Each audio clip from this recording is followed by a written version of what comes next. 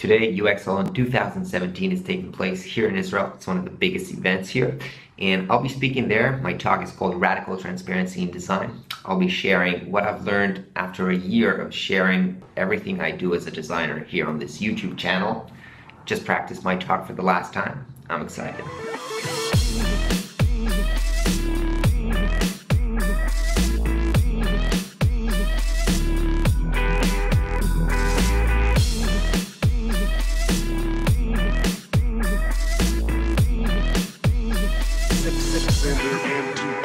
space, outer space, outer space, outer space, outer space.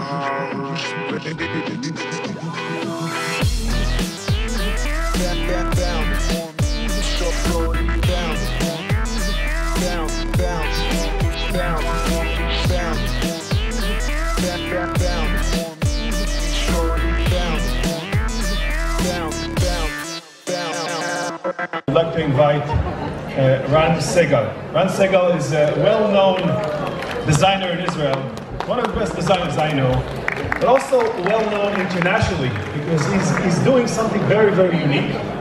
He uh, broadcasts every day a, live, a, a, a vlog on YouTube, a daily YouTube vlog, and he's going to tell us what does it mean to design out in the open, where everyone can see what you're doing on a daily basis. Uh, Ran, the floor is yours.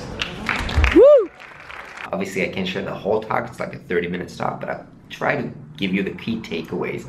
So I've been vlogging for a year. I've been sharing everything, you know, ups and downs, you know, crappy design, days that I'm feeling, you know, like I'm struggling and unproductive.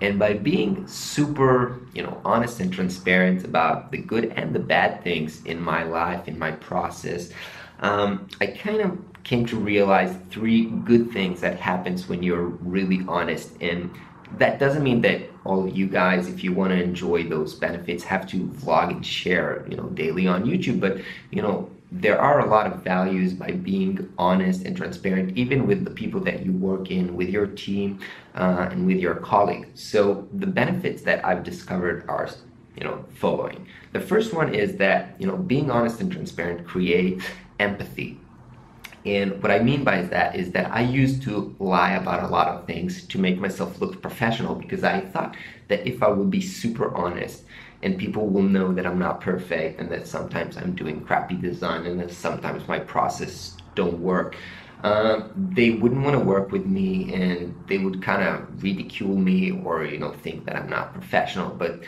actually sharing with you guys everything on YouTube um, made me realize that when you are being super honest with people, they don't ridicule you. They're actually showing empathy and you know they encourage you. They help you when you're down, and you know the, the, the feedback is actually positive and it's not negative. So that's the first thing.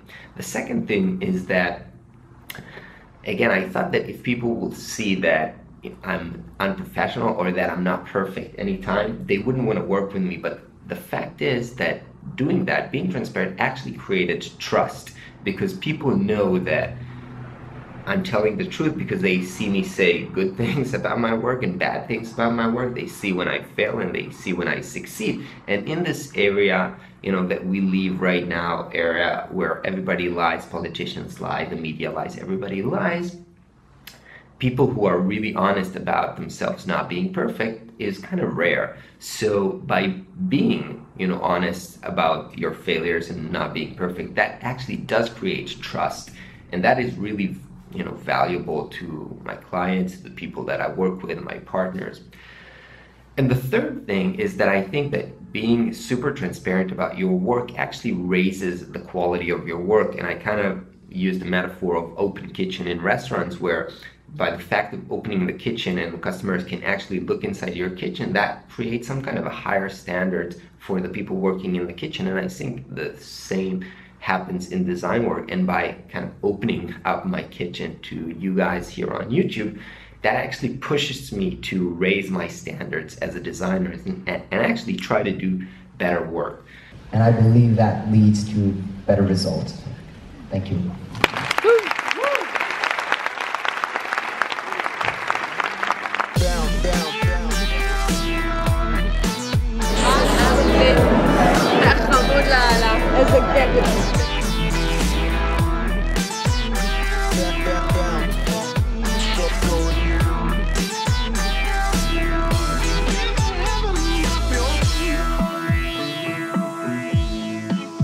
So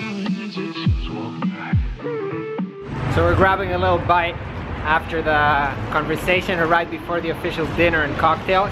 Adid, do you have a good time today? I had a great time, especially listening to this guy talk. I'm fucking hungry.